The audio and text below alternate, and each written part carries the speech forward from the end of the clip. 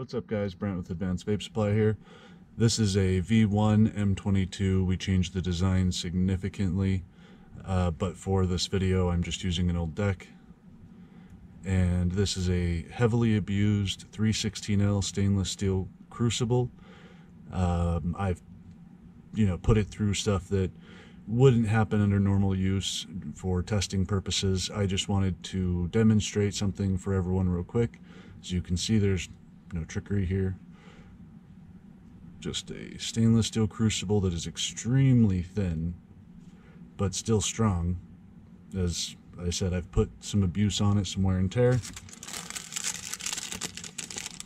So to demonstrate the 316L crucible today, we will drop a pretty hefty chunk in there.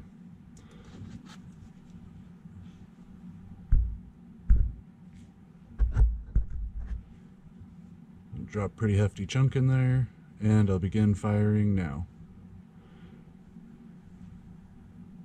So as you can see, just like the coil, everything is just just melts instantly.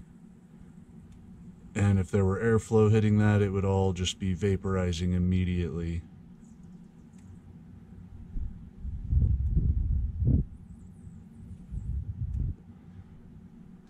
So that's a 316L stainless steel crucible. It'll basically last forever with proper care.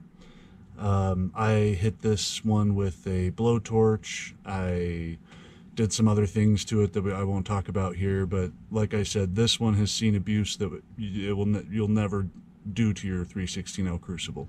The flavor on this is amazing. The heat up, like I said, it's just like a coil.